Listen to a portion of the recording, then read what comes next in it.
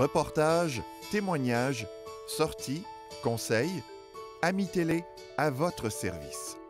Je m'appelle Catherine de Sèvres, euh, euh, je suis euh, porte-parole pour l'INCA et puis on se trouve en face d'un petit cubicule d'enregistrement, là où les bénévoles enregistrent. En fait, j'ai été lectrice bénévole pendant plus de dix ans ici.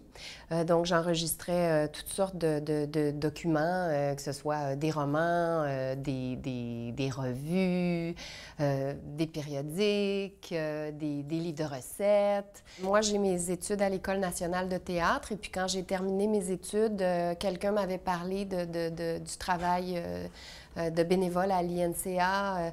Pour moi, c'était une, façon de pratiquer le travail au micro, la lecture à première vue, l'addiction. Fait que c'était pas vraiment... Tu sais, on dit quand on fait du bénévolat, dans le fond, on donne, mais on reçoit beaucoup. Pour moi, c'était des heures et des heures d'expérience de, de travail au micro. Il y a un livre particulièrement qui a été très marquant pour moi dans mes, euh, dans mes, dans mes années de, de, bénévolat ici à l'INCA.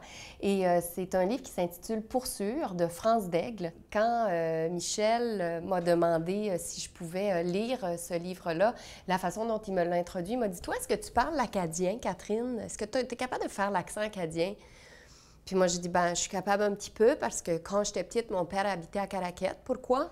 Puis là, il me dit, ben, c'est parce que j'ai un livre puis l'auteur est acadienne, puis il y a des gros passages en chiac. Sauf que c'est un gros livre. Ça a été un long travail, sur six mois et plus, euh, à raison de trois heures par semaine. C'était assez ardu au niveau de la structure du livre et tout. Mais donc, mes efforts ont été récompensés, nos efforts, parce que je ne suis pas seule quand je lis, il y a toujours un, bénévole aussi qui, nous enregistre.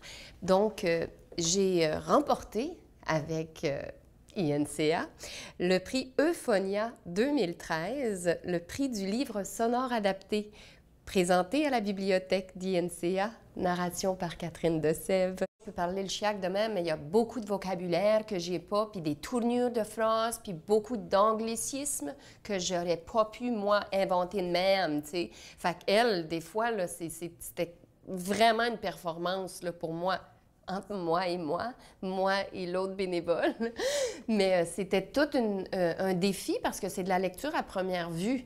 Mais à un moment donné, on rentre dans l'écriture comme, comme, comme tu peux rentrer dans des skis de fond, puis tu es dans ta piste de ski de fond, puis ça, ça, ça avance tout seul. C'est comme un petit moment magique où tu as l'impression de rentrer dans l'écriture, rentrer dans les personnages, et puis que tout ça semble facile finalement.